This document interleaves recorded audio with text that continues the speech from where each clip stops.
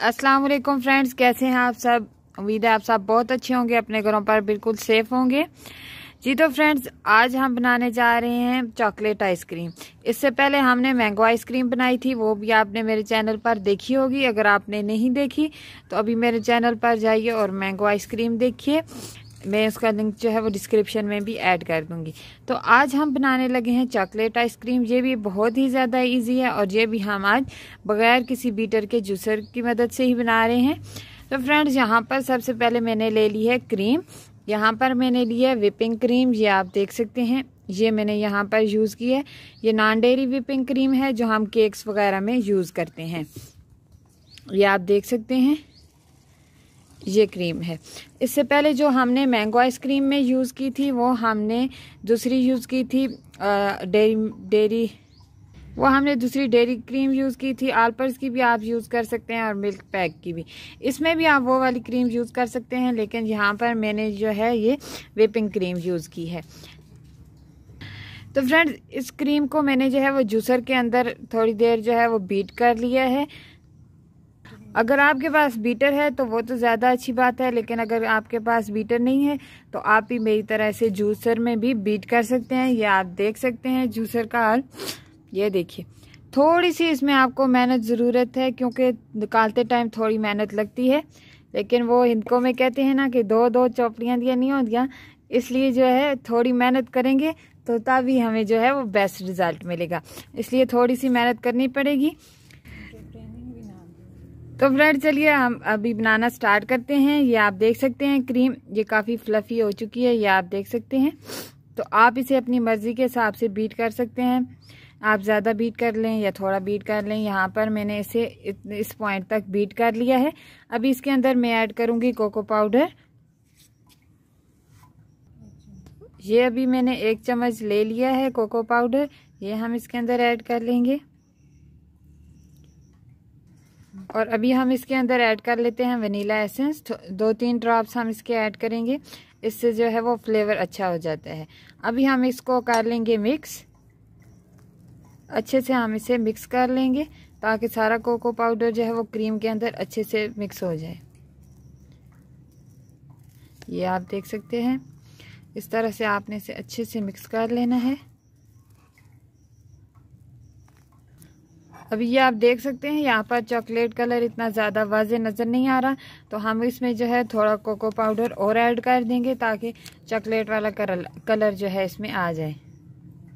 अगर आपके पास cocoa powder नहीं है या आप नहीं ऐड करना चाहते तो आप यहाँ पर जो है वो चॉकलेट भी ऐड कर सकते हैं। आप चॉकलेट को मेल्ट करके इसमें ऐड कर लीजिए। अभी हमने इसे मिक्स कर लिया है। अभी इस पॉइंट पर हम इसके अंदर ऐड करेंगे कंडेंस मिल्क अगर आपके पास कंडेंस मिल्क है तो आप ऐड कर लीजिए। अगर नहीं है तो उसकी भी रेसिपी मेरे चैनल पे मौजूद है। आप घर में बना सकते हैं। बहुत ही ज़्यादा इजी है। मैंने जो है वो मैंगो आइसक्रीम में कंडेंस मिल्क यूज़ किया था, लेकिन इस रेसिपी में मैं जो है वो पाउडर्ड शुगर यूज़ कर रही हूँ। तो अभी हम यहाँ पर इसमें शुगर ऐड कर लेंगे। जो जो कंडेंस मिल्क होता है, वो भी हम जो है दूध के अंदर चीनी को पका लेते हैं। तो यहाँ पर मैं सिंपल जो है वो पाउडर शुगर इसमें ऐड कर लूँगी। हम इसमें जो है नॉर्मल दानेदार चीनी ऐड नहीं कर सकते, क्योंकि फिर वो सही तरह से इसके अंदर मेल्ट नहीं होगी, मिक्स नहीं होगी। इसलिए यहाँ पर हम इसके अंदर पाउडर शुगर ऐड करेंगे। अब इसे हम अच्छे से मिक्स कर लेंगे। आप यहाँ पर जो है वो बीटर भी यूज़ कर सकते हैं अगर आपके पास है, लेकिन अगर आपके पास नहीं है तो आप यहाँ पर इसे चम्मच की मदद से ही अच्छे से मिक्स कर लीजिए, ताकि इसके अंदर कोई भी लम्स ना रहें, या कोई भी शुगर का या कोको पाउडर का कोई भी इसके अंदर लम्ब बाकी ना रहे। अच्छे से इसे मिक्स कर लीजिए।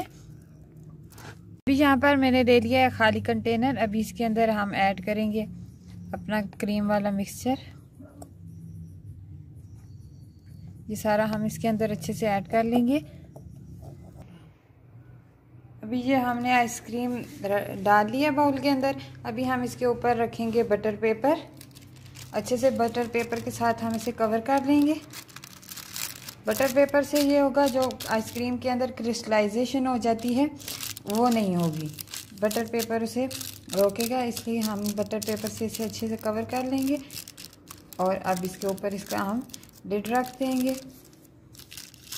उसके बाद हम इसे जो है वो ओवरनाइट फ्रीज़ होने के लिए रख देंगे। तकरीबन 10 से 12 घंटे आपने इसे फ्रीज़ होने देना है। उसके बाद हमारा इन बेहतरीन आइसक्रीम तैयार होगी। अभी हमने लेग को अच्छे से कवर कर लिया। अभी हम इसे फ्रीज़र के अंदर रख देंगे। तो अभी हम इसे रख देते हैं फ्रीज़र के अंदर। यहाँ पर हम इसे रख देते हैं। बिल्कुल हाँ आपने इसे जो है वो निचली सरफेस पे नहीं रखना, आपने इसे जाली के ऊपर रख देना है और अब हम इसे जो है 12 घंटे तक फ्रीज़ होने देंगे। उसके बाद मैं आपको निकाल के दिखाऊँगी। इन बहुत ही अच्छा हमारा रिज़ल्ट होगा बेहतरीन आइसक्रीम हमारी तैयार होगी। जी तो फ्रेंड्स, अभी मैंने इसे निकाल लिया है। फ्रीज़र में से इसे रखे हुए जो है वो 12 घंटे हो चुके हैं तकरीबन। अभी हम इसे खोल लेते हैं और चेक करते हैं। बिस्मिल्लाहिर्रहमानिर्रहीम।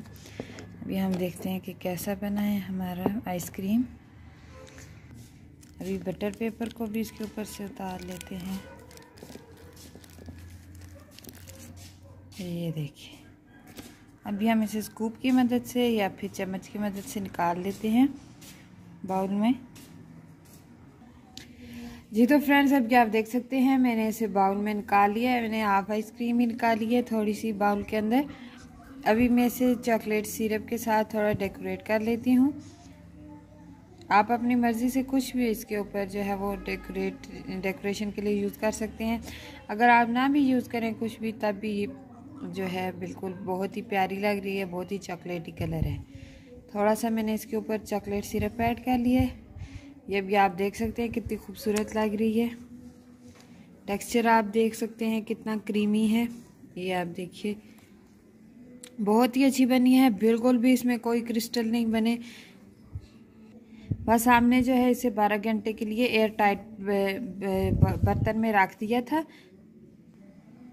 और ताकि इसे बिल्कुल भी हवा ना लगे और देख सकते हैं आप, इसकी वजह से कोई भी इसके ऊपर क्रिस्टलाइजेशन नहीं हुई, बिल्कुल क्रीमी जो है हमारी आइसक्रीम तैयार है। तो फ्रेंड्स उम्मीद है मुझे आपको ये रेसिपी बहुत अच्छी लगी होगी और आप जो है ये आइसक्रीम ज़रूर ट्राई करेंगे। आप मैंगो आइसक्रीम भी लाजमी ट्राई कीजिएगा और ये चॉकलेट आइसक्रीम भी आप ज़रूर ट्राई कीजिएगा। बहुत ही ईजी इंग्रेडिएंट्स के साथ घर में बिल्कुल जो है मार्केट जैसी आइसक्रीम तैयार हो जाती है। वीडियो को लाइक ज़रूर कीजिएगा। कमेंट्स में मुझे ज़रूर बताइएगा। और चैनल को सब्सक्राइब करना मत भूलिएगा। अगर आप पहले से चैनल के सब्सक्राइबर हैं तो आपके मैं बहुत शुक्रगुजार हूँ। इंशाल्लाह नेक्स्ट वीडियो में एक और मज़ेदार सी रेसिपी के साथ आपकी खिदमत में दोबारा हाज़िर होंगी। तब तक के लिए अपना बहुत ज़्यादा ख्याल रखिएगा। दुआओं में मुझे भी याद रखिएगा। अल्लाह हाफिज़।